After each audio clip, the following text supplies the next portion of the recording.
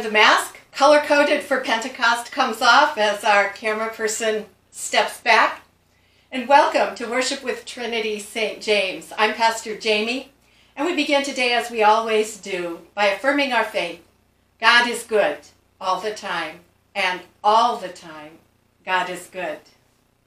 And I'm really grateful for that this week because, in so many ways, it's been a week of chaos and confusion. In my case, some of that was brought on by my own forgetfulness and carelessness. You may have had some weeks like that when things just didn't go right. I suspect I'm not the only one. But even more, it's been the great disruption that we all know from the coronavirus, from events of violence and injustice in our world, for losses and illnesses and situations way beyond our control. So, today on this Pentecost Sunday, I invite you to take a couple of deep breaths and remember that the Holy Spirit is the very breath of God. So I invite you as you inhale, breathe in God's love for you. And as you exhale, breathe out and cast your cares on the Lord.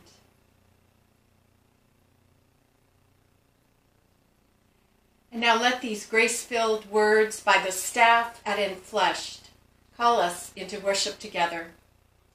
Come, Holy Spirit, and rouse the people of God. All the earth is groaning for restoration. Though the whirlwind of life tosses and turns us, we remember out of chaos the Spirit births new worlds. Come, Holy Spirit, and revive what has grown stale. Let the troubled be comforted. Let the apathetic be agitated. Wash away all that suppresses, silences, and condemns.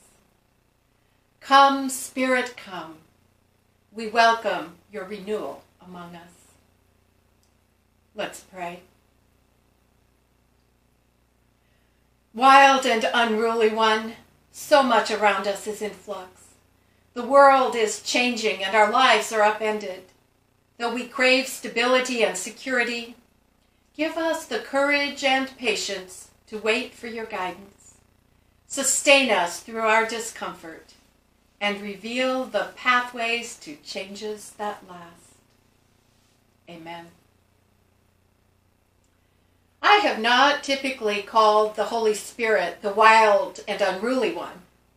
Yet, there is something a bit wild about the way the Spirit works. Some who watched that very first Pentecost long ago thought God's people were drunk, talking as they were all at once and in all different languages. It was an event more unruly than orderly.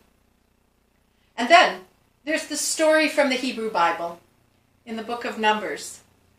Listen to this episode of Moses and Joshua, a couple of the better known Old Testament leaders, and Eldad and Medad, some more obscure characters, and the work of an unruly spirit.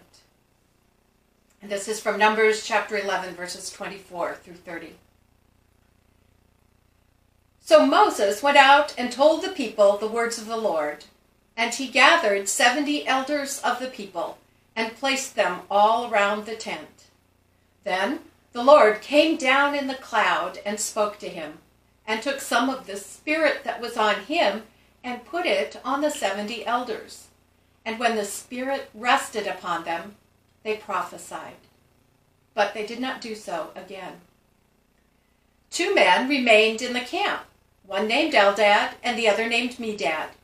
And the Spirit rested on them. They were among those registered, but they had not gone out to the tent.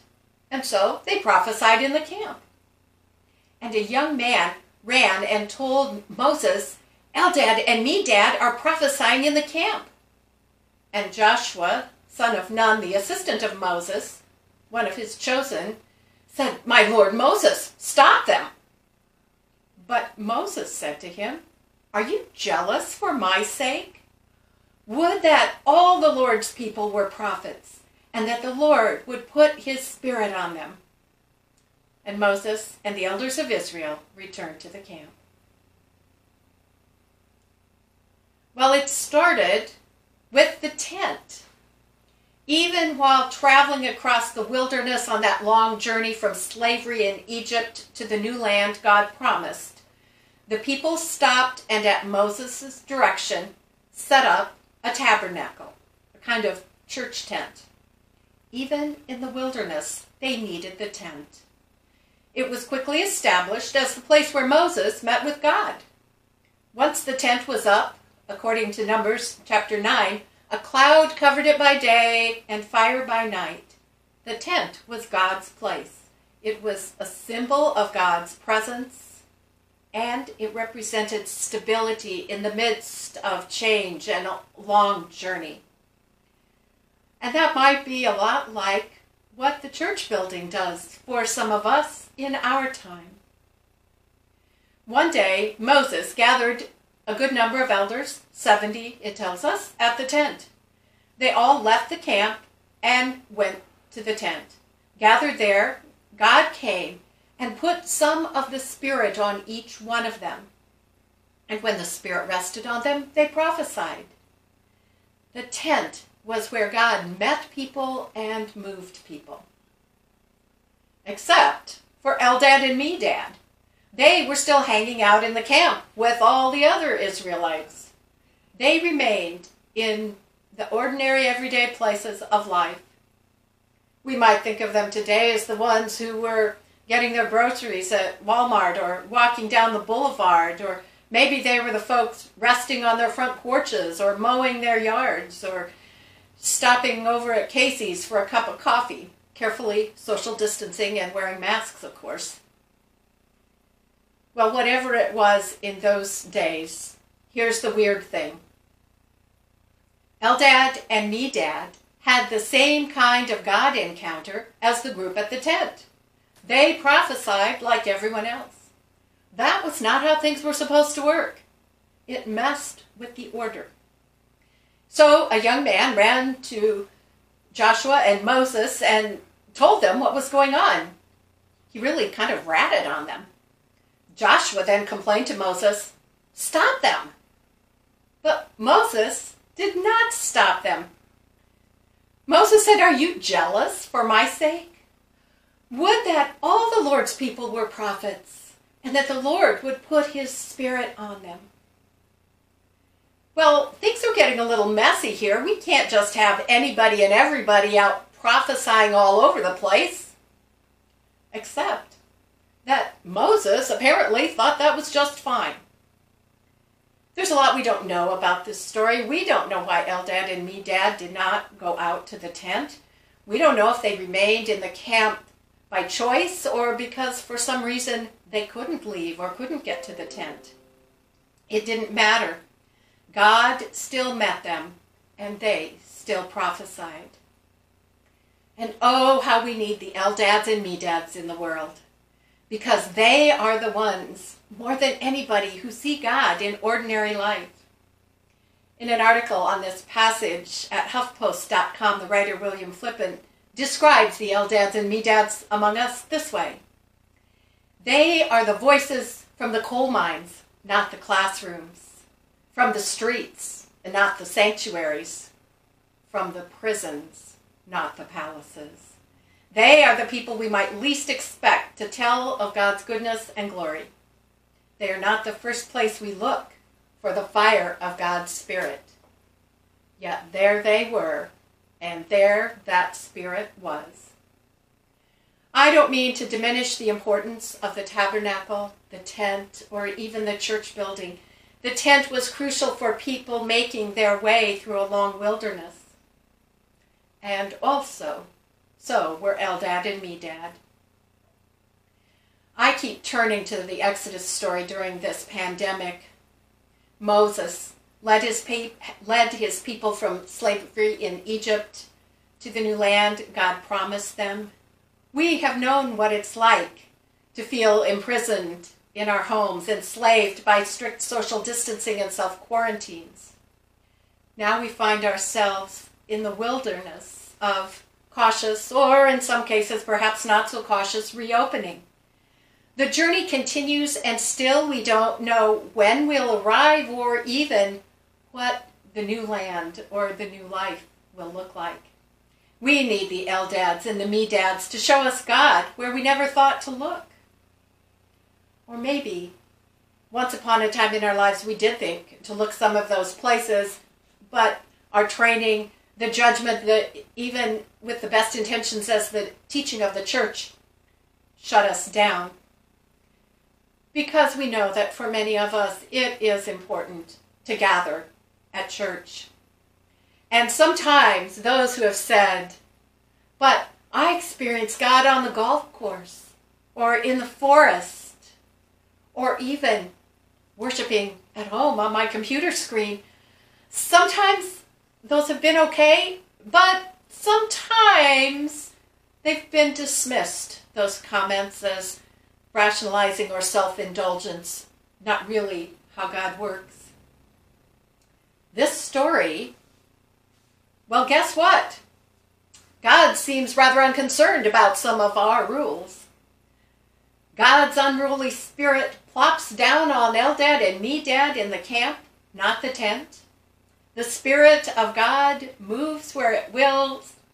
It shows up at campgrounds and backyards, on golf courses, in living rooms, on computer screens, on the boat, on the river, wherever people are. God shows up in all kinds of places, and God sends the Holy Spirit to all kinds of people. As the theologians at Enfleshed put it, we can trust the Spirit to break old patterns and break open new possibilities. Here's one way I've seen it happen in my life. Though I've had a Facebook page for quite a long time, I seldom use my personal page. I don't really like it. I've grumbled a lot about it. I've suffered with it because it's my job some of you L Eldads and Medads out there are the ones who are able to see social media as an avenue for ministry. I was still resisting.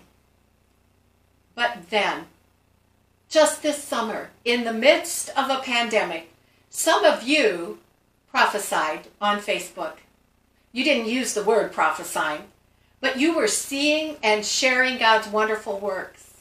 You posted pictures of butterfly gardens and growing vegetables, a regal iris, a bee hovering on a flower, fresh asparagus and morel mushrooms, backyard wildlife. I was fascinated. I kept going back to look at those pictures again and again because every time I did, they lifted my spirits a bit. So now I have to confess to you all, somewhat reluctantly, that God, I think, just showed up on Facebook. But that's what the Spirit does. She alights on those she chooses. She blesses the ordinary places, the unexpected places, the scattered all over places, just as much as the tents and tabernacles and church buildings. So this week, watch for the Eldads and Medads among us. Watch for the Spirit alighting on you whether you're a Moses or a Joshua type, or an Eldad or a Medad type. Because the Spirit will come. God has promised it. In the words of the prophet Joel, the second chapter, God said, I will pour out my Spirit on all flesh. That's everybody. That's everywhere. God's Spirit is not bound by church buildings or traditions. It's not constrained by a pandemic. It's not tied to our rules. It comes when God wills. So we wait and we watch and we pray. Come, Spirit, come. We welcome your renewal among us. Amen. One of the places I'm pretty sure the Spirit shows up in our world is the Lynn Community Food Pantry. Today, on the last Sunday of the month, is our regular day at Trinity St. James when we receive a special offering for this food pantry. We used to call it the noisy offering. Now that we cannot accept coins, it's a quiet offering, but it's still very much needed to make a difference in the lives of those who are food insecure. So we invite you to give your offerings by mailing a check to the church or using our online giving link. And know that in this way, the Spirit is lighting on you and you are passing that Spirit, that flame to others. We continue be, to be grateful for these offerings and your regular offerings as well. So thank you. As we pray today, I invite you to name, perhaps aloud in your household or simply in silence, the joys and concerns that God places on your heart today.